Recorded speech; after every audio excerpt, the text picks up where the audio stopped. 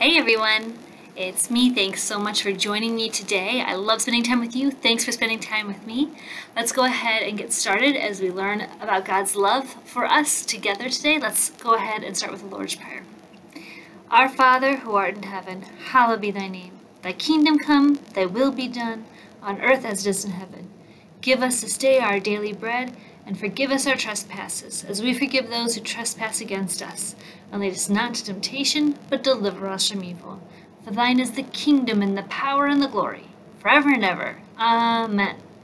All right, I'm going to try to build something today. Okay, um, I've got my cards here.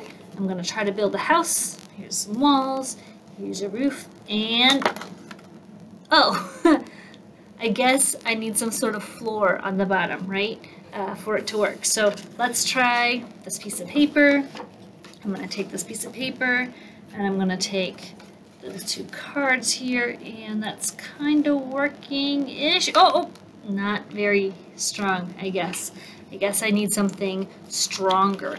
Okay, what do I have that's bigger and stronger? Um, oh, how about this? How about my Bible? Okay, I'm going to put my Bible down right here and then I'm going to take some cards and stand them up and see. Oh, there we go. Let's see if I can lift it up for you to see. There we go. The cards are doing a much better job now that they're on the Bible. Well, okay. For cards, you can set a house of cards on anything that's pretty stable, but I like this reminder because our lives need a foundation too. They need something at the bottom, like a house, to keep the house strong. You need a foundation to keep a house strong. And for our house of cards, we need a, a strong foundation. We need a strong foundation too. We need God's Word.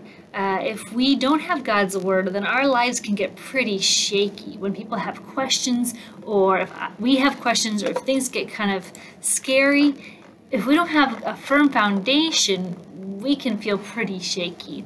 But with God's Word, we know that we are loved by God and that Jesus died and rose and lives again for us. And we have a, a firm foundation in God's Word. So, let's go ahead and look today about a king uh, and how important it is to have God's Word as the foundation of our lives. All right? The Bible verse today is from uh, Psalm 95.